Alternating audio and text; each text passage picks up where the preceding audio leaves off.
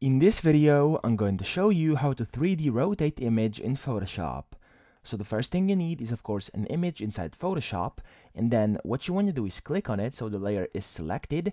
You want to press Ctrl plus T, so hold on Ctrl and press T so you get this resizing border and what you then want to do is right click on the image and press perspective.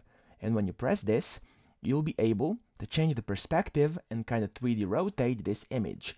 So as you can see, if I now go down here to where you can usually uh, kind of change the size of the image or stretch it out, I can now simply change its perspective in 3D. As you can see, it's completely changing perspective and you can do so at the width as well. There we go. You can change it however you would like to. And let's say that's what I wanted. I'm going to move it around a little. And yes, that's what you wanted. You want to press this check mark and that's it. That's how you can 3d rotate the image. And if you then press ctrl and t yet again you can use the image rotate it around just like this